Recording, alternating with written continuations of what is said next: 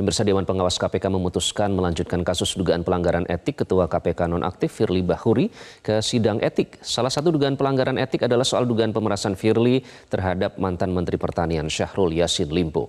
Ketua Dewas KPK Tumpak Hatorangan Panggabean menyatakan dugaan pelanggaran etik Firly yang akan disidangkan di antaranya terkait pertemuan Firly dengan mantan Menteri Pertanian Syahrul Yassin Limpo sebagai pihak yang berperkara.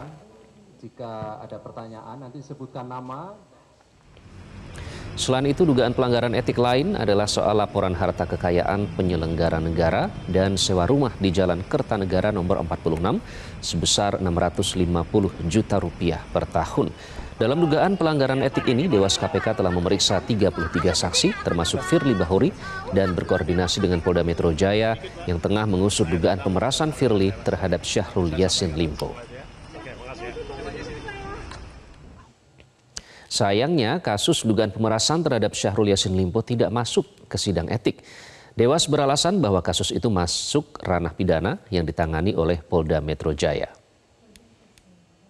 Kita tahu bahwa masalah ini juga sedang ditangani di Polda Metro Jaya. Kita tahu.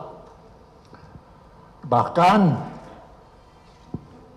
FB sudah dinyatakan tersangka Tentunya ini nanti akan bermuara ke pengadilan. Apa yang dilakukan oleh Polda Metro Jaya menyidik kasus tindak pidana.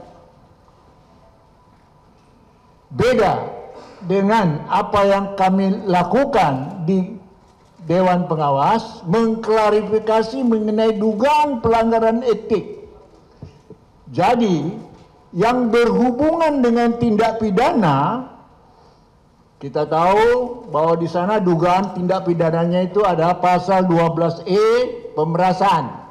Pasal 12B besar gratifikasi. Ada pasal 11 itu penyuapan. Junto pasal 65 KWP. Berlanjut.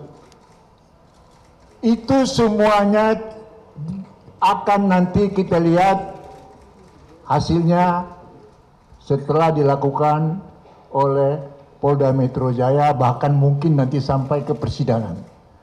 Nah, Dewas tidak masuk ke situ.